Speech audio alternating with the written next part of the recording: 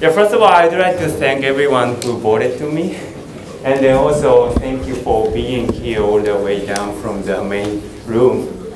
So yeah, um, today I'm going to talk about uh, the future of JavaScript. So the reason why I would like to have this talk was actually I was really interested. I was really excited about the future of JavaScript also. So yeah, let me introduce myself. So I'm Ryo Chikazawa, and I'm working at the company called Viki, which is providing the global uh, video platform. And then my account is Chika36, so you can find me on the GitHub and Twitter and so on. And I also have uh, chika36.com for my blog, but it's all in Japanese, so I've just started uh, ryochikazawa.com, uh, which is the English blog. So, you know, my name is Ryo, but uh, for some of you guys, it's really difficult to pronounce my name. So, I'm not Ryu. I'm not Leo. I'm Ryo. So I think it's better to start with two sounds, Rio, and then combine them together. So like Rio, Rio, Rio, Rio. Okay? It works? So yeah, maybe now you remember my name.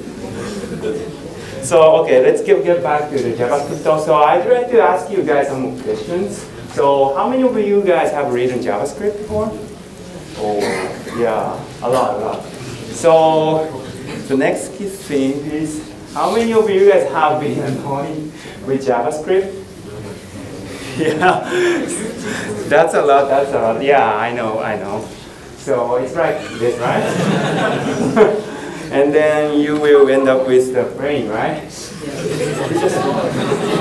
so yeah, don't get me wrong, I really love JavaScript, but uh, you know, there's a lot of problem in JavaScript. So I listed up the like a typical big problem of JavaScript. So the first one is this. You know what this is? So this in JavaScript is really complex. So this will be changed depending on the, the how the function is called. So there's a, a, lot of this. So let's say if you just call the function simply, just calling the function, this will be the global object. But if you call the function as the, the method of the object, this inside of the, uh, the method will be the object. Okay, so that this is really complex in JavaScript. And the second is scope. So the global scope in JavaScript is easily contaminated. So let's say if you forget to write var in front of the, the definition of variables, it will be the global uh, object, global variables. So, and then also JavaScript doesn't have the block scope. So all, the function is only thing that can have the scope. And then also, uh, so let's say like array in JavaScript or the uh, string in JavaScript has lack of APIs. So that's why uh, there is the, the utility libraries like underscore JS or something like that. And they also, I think this is the biggest problem of JavaScript. So there's a lot of writing styles. So you might have seen some like someone using the, the prototype to implement some kind of class thing, but some of uh, someone uh, don't use prototype, even this, and maybe someone like just every code in flat. So that's really bad code though, but yeah. So there's a lot of problems, but uh, they know these problems, so these are changing. So uh, let's get back to the title. So the ES6. So how many of you guys know what ES6 is? Okay. So ES6 is actually the ECMAScript 6. So what is ECMAScript? So ECMAScript is actually the, the standard for JavaScript. So which is uh, adopted by the TC39, which is uh, technical committee in ECMA International. So well, why do we need standard? Because the, historically, um, JavaScript is invented in the, the, Mozilla. And then after that, uh, uh in, uh, Internet Explorer implemented. And then that was not JavaScript, that was JScript. So the, which was different from JavaScript because of the trademark issue. So we need a standard for it. So the uh, International started to standardize uh, the JavaScript. So the, this is actually the specification for JavaScript. So the JavaScript is the, actually the one of the implementation. So the other implementation is like uh, ActionScripts 3.0, uh, which is actually the, the uh, based on the ECMAScript 4, which is already rejected. So the, yeah, you can say uh, ActionScript 3.0 is always obsolete. And yeah. So yeah, ECMAScript 6 has a lot of features. So this is not only for API improve, improvements, but also like the other like syntax and so on. So you can see the, the list of feature on the left, and then you can see the, the list of the browser as a rows. So this is my current browser, can you see it? So as you can see it, most of browser doesn't support most of features in ECMAScript 6. So it seems you, you cannot use the feature of ECMAScript 6 today. But don't worry. Maybe you can see the, the law, which has a lot of green on the left, right? Yeah, here's the thing. So the traceur, these are the compilers. So which is actually the, the, the compilers which generated generate the ECMAScript 6 to, let's say, ECMAScript 5 or ECMAScript 3, which can run on any browsers. So uh, if you use them, you can use ECMAScript 6 today. So I will introduce these kind of compilers later, but uh, let me introduce the features at first. So yeah, you might think um, you cannot use ECMAScript today, but uh, to prove that, I implemented, I developed this presentation framework by with ECMAScript 6. So this is written in ECMAScript 6. So I used a traceur compiler. So which means, yeah, you can use ES6 today because I'm using it. So yeah, I will also try to uh, introduce my presentation framework later. But yeah. So yeah, let me introduce the, the feature of ECMAScript 6. So I listed up the main features. These are not, um, this is not all. This is some of the features which is really important. Okay, so first one is function. So function will be changed a lot in ES6. So the before ES6, you might define the function like this way, right? So you can also run this script by clicking here, okay? So you define the square, and then you know it's squares. So the the, uh, the result will be four, right? This is simple, really simple um, function. But this is allow function in ES6. So you can define the function this way. So yes, you can like compare the three line into one line, right? You can just write allow, allow for the for defining the function. So the result will be four, two, okay? So this is really simple, right? But arrow function is not only for the syntax sugar. So yeah, of course you, it's really easy to write function, right? But uh, it's not only for the syntax sugar. And then you also, you can also write arrow function like this, like having the, the parentheses. And then also if you want to return the object, you can write this way. This is really simple, right? So, as I said before, this is not only syntax sugar. So the one of the, the problem which I mentioned before is the, um, the this problem. So the arrow function actually bind, bind this lexically. So which means maybe you might uh, saw this kind of code before, right? So in this callback, yeah, this callback, um, this will be window. So because of the, this problem. So this will be a window because the window calls this callback.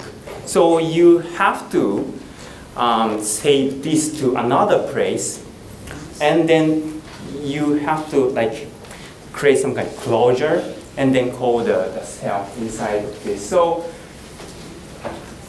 the self in this callback will be the original this. Okay? So this will be window, or maybe you cannot see this. But yeah, this will be the window in this callback. So that was the problem. So yeah, in ES3, um, we solved this kind of problem with this um, way. But in ES5, they introduced uh, bind method. So the bind method is actually the, the, one of the methods of the function. So if you use bind method, you can bind the, the, the this to the function. So you can just simply call this inside of the callback if you use bind to bind this. So yeah, this is kind of nice way, but uh, this is not the best.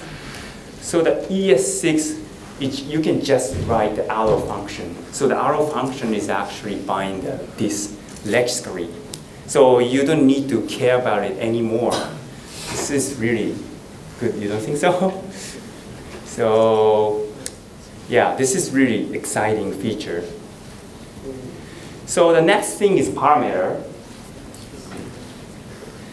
So first one is default values. So default value is the, the default value of the function. Um, so yeah, uh, to see this example, like if you um, add some like default value for y, uh, you have to do this way by putting the, the two lines after the y and then yeah you can just call add one only one parameter and then the y will be one. So this is kind of default values in ES3 so this will be 2 right? But the ES6 introduced the default values. So you can just simply put the like default value after the, the parameter. So it's like a uh, other language maybe you might try before. So yeah, this is also two. It's cool. And then the second one's REST parameters. So the REST parameter is actually uh, the asterisk in Ruby. So yeah, let's see this example. So if you call some function with these parameters, the one will be base, and then the other will be the, the, the, the rest array. So the rest is actually array. So you can just simply use the, the array uh, inside of the function. So it will be 15. Okay. This is also cool. So the third one is spread operator. Spread operator is the, the opposite idea of the, the rest parameters. So if you put three um, period in, in front of the, the array, it will be spread. So the first A will be 1, and B will be 2, and 3, and so on. So it will be 15 as well. Okay. So the next one is block scope. So uh, do you have any questions so far? I think it's too fast. See, okay. So, okay. Um, let me continue. So the block scope. So as I said before, uh, JavaScript doesn't have the block scope. But uh, in ES6, we'll have block scope. So in ES3, if you define the value in the block, you can refer them. So there's no block scope. So the, the, the definition of value will be hoisted uh, in, at the beginning of the function. So it will be value. So you can refer them outside of the block. So, but in ES6, they introduce the let. The let is actually the, the um, works only in the block. So if you define let in the block, you can refine, uh, you can refer the, the variables uh, only in the block which you define. So if you try to refer value outside the block, it will be error. Okay. This is block scope. And also they introduce const, constant. So constant is also works in the block scope. And then, yeah, you can define the constant value. So if once you define the constant, uh, you cannot change the value anymore. So it will be error as well.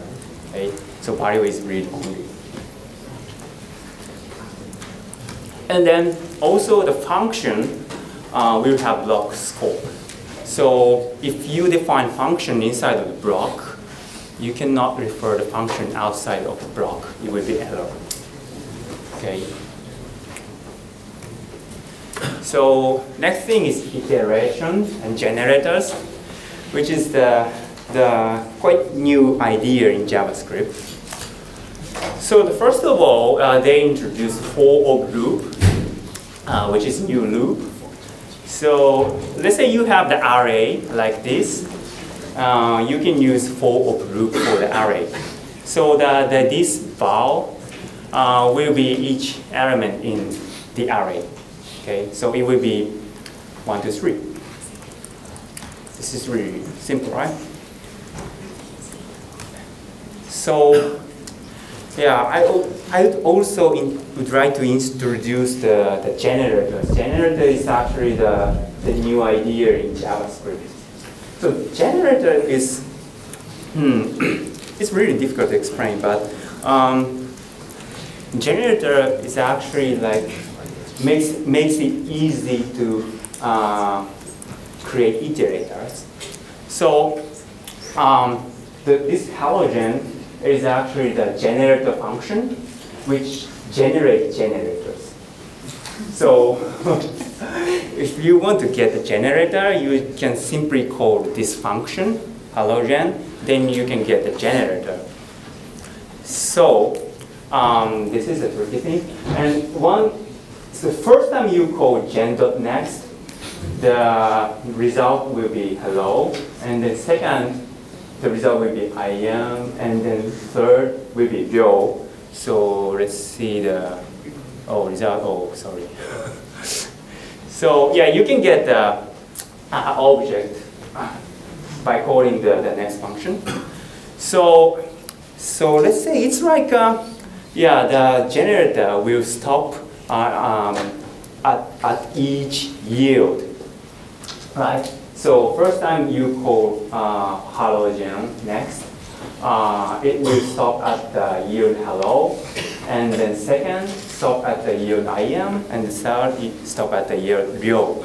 So it is said that uh, it will solve the callback hell. So you can simply write uh, every type of like asynchronous computation in like a flat way. You can just put the yield. So yeah, I know it's really it's kind of confusing idea, but yeah, you might get used to it. So yeah, you can also uh, do this kind of way because the generator actually generates the, the iterator. You can use for of loop as well. So you can simply code this, and then result will be hello, I am real. So the the this string will be the uh, the hello and I am and real. Okay.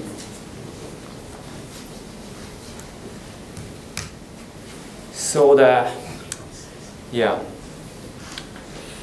this is the most thing, most, uh, most exciting feature, I think, in the ECMAScript 6. So that they introduced class, finally. so class is like this. So maybe you can understand this kind of like a syntax, right? Yeah, it's like uh, as any other language. So you can just simply define class in this way. So you can have constructor the frame, and you can also set a setter and getter in this way. This is really cool. So they used to like, you used to have, you used to use the, the prototype, and then you know it's really annoying to define the the like the prototype object, right? You have to set a key and then function, blah, blah, blah, and something like that, and then you don't need to, you, you need to put the, the comma uh, uh, at the end of the function, right? So it was really annoying. But uh, you can simply define the class in this way. And then you can also the extend, you, you can also create the subclass way. So yeah, this is really simple, you can just extend it. Yeah, it's really, yeah, it's pretty cool. So you can also uh, call the super function. So the super function in constructor will be the, the constructor of the this class instrument. And then super prey will be the super function uh, of the, the instrument class. It's really simple. And then also, I think this is really exciting though. Um, so the property method assignment, so the so currently we have to, uh, if we want to define the, the method uh, of the object, you have to um, you have to write the, the key at first, and then you have to define a function, right? But you can write the function this way. So now you have the toString function uh, for this object. So if you do this, you will get the value. This is also really simple. So the next one is modules. So the module is like this. So let's say if you have user.js, you can export the class, and then also you can export the variables. And then let's say you have user Vue.js, you can import them by this. And then now you can use uh, user and name variables. And also the modules, uh, the, each file has the each scope. So um, the global, uh, global scope uh, will not be contaminated anymore. So you can just simply export it if you want to use outside of the file. This is also really simple, right?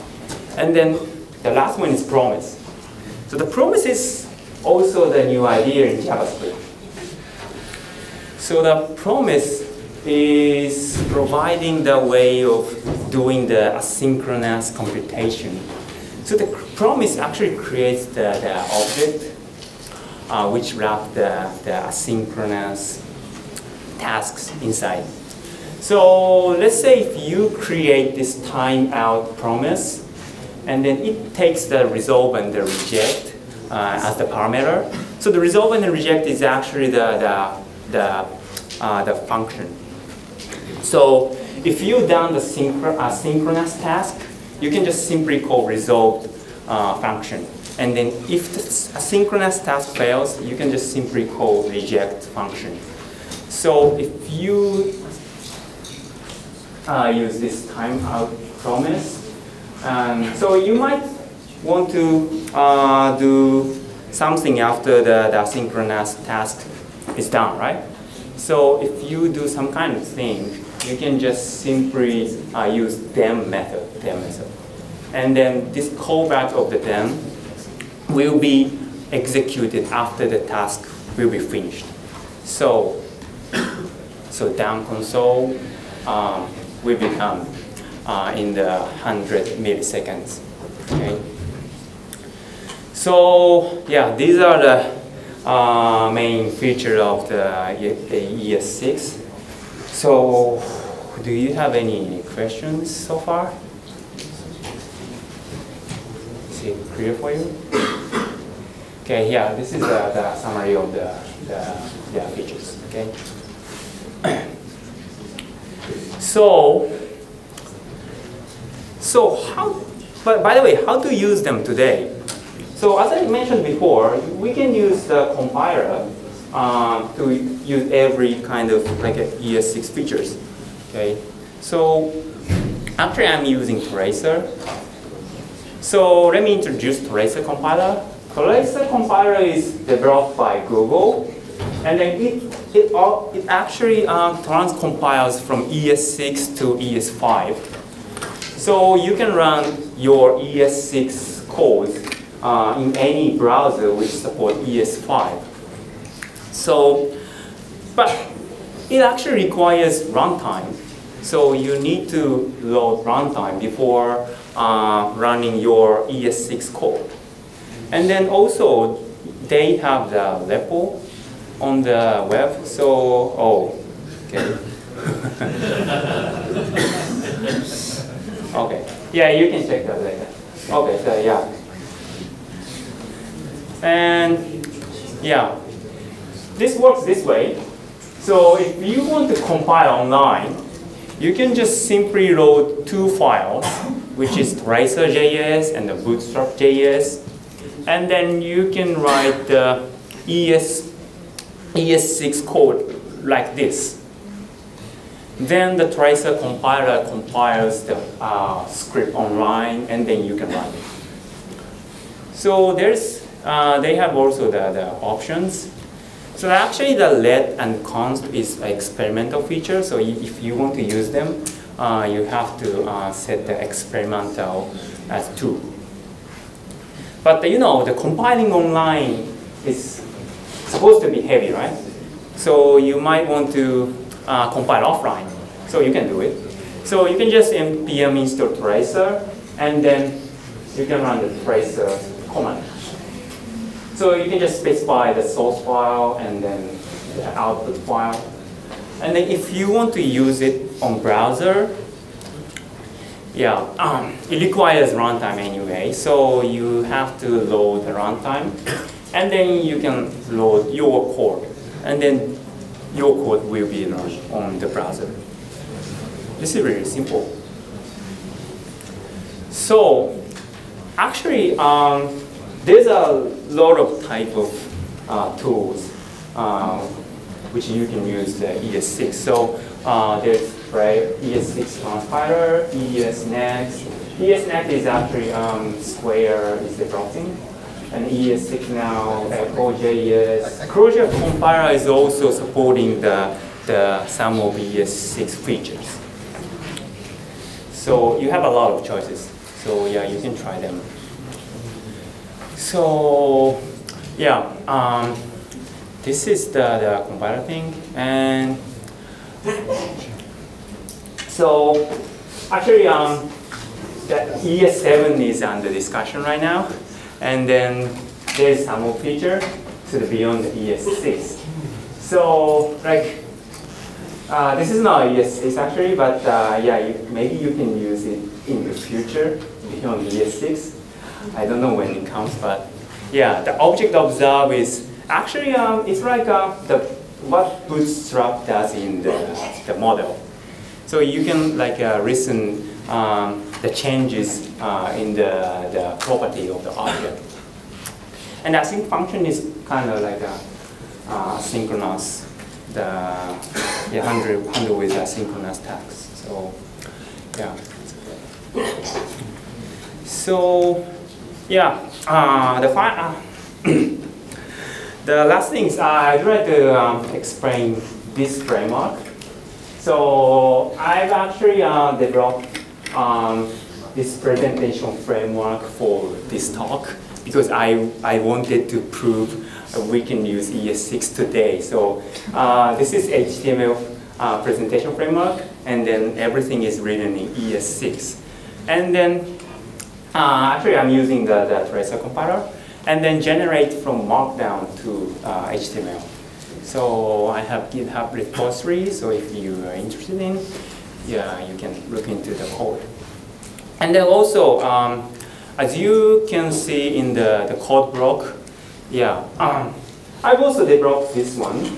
So yeah, this is the, uh, this one. Right? So you can actually uh, run this code in the browser. So I've also developed this one. So this is called Exit.js. So run any JavaScript code in the play code uh, element. And you can also use with the highlighting library, like highlight.js or syntax highlight or something. And maybe you can embed, embed in your blog. So I will have the GitHub repository here. This is not, this is not ready yet, but yeah, I will do that. So yeah, this is uh, the framework I used today. So that's all for now. So do you have any questions? Any questions for Ryo? What, Good. so how hard is it to debug the transcompiled code? Uh, yeah, I think this is a good question. So the question is, how hard is it to compile, Yeah, to debug? debug, right? Right. Yeah, I think this is the one of the, the problem in Traceur compiler. The Traceur compiler compiles to the, the code which is hard to read. So it's kind of difficult to debug for now. But you can use, you can try another compiler as well. So maybe some, some of, some of compiler doesn't require the runtime. So maybe you can read uh, the compiled code. There's also the option for source. So Ah, yeah, yeah. you can source An option to source map. Okay. Okay. Thank you. Any other questions for you?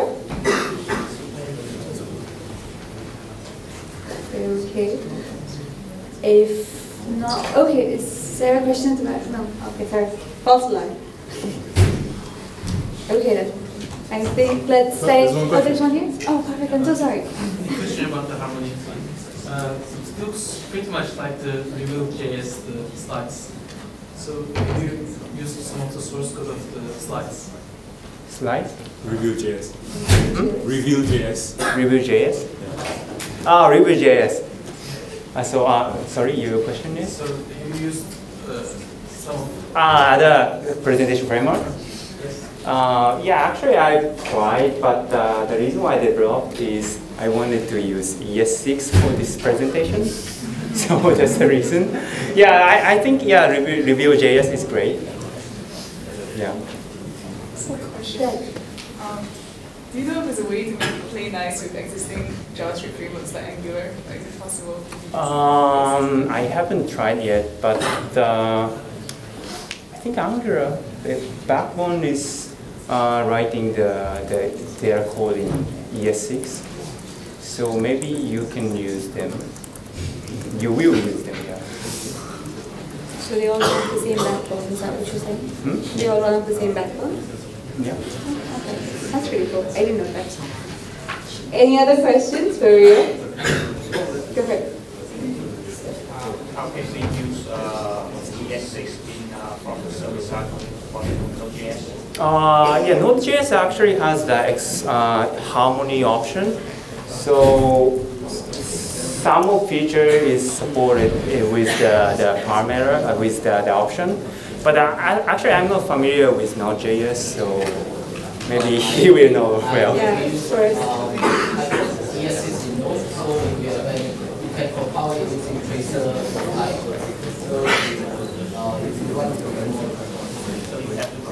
everyone. yeah, there's a traceur command, so you can use the Any other questions? Um, is there some, like, once browser support native ES6, uh, is there some sort of uh, foreseen fallback mechanisms to deliver, say, ES6 and ES5 code and browser link? You mean in browser? Yeah, like some, like you said, different type of script tag into the ES6 sources or something. Mm, I think once the browser support ES6, you can write ES6, and then also the ES6 is also the ES5, right? So you can use the ES5 uh, Yeah, code but in there. if say Chrome supports ES6, but I still need to target Internet Explorer or something. Uh, okay, yeah. So do all, all Mm, the browsers actually support it? Mm, no, so maybe in this kind of case, maybe you will have to use some kind of compiler or something mm, to do that. So, so it will be like 10 more years until we actually deliver an ES6 code. But you know, if you use this kind of compiler, yeah, you can run your ES6 code any browser which support ES5. So that actually E- uh, IE8 is not fully support um, ES5. So you can use this from ES9, I, IE9, sorry. ES9, what is it? So, so as a follow-up to that, what's, is there a big performance penalty to using a, a traceur? Like, is there Yeah, yeah, some of the penalty actually, yeah. So, yeah, maybe, yeah, you can just use it for your like uh, learning for now. Because some of feature has uh, a lot of like a uh, disadvantage in terms of the performance. So, but you can actually develop with the ES6 now. So then again, so what, what, what do you think, in a, what point in time will we actually be able to write production ES6 code? So, uh, the publication uh, of the ES6 will be next year. So I think, yeah, after next year, if you want to run, uh, use them natively. Hmm. Okay, any other questions? Okay, if not, let's thank Ryo. Thank